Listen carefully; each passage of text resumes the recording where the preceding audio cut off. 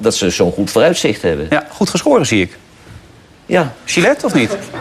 Eh, is de sponsor Gillette? Ja. Ja, Gillette. Oké.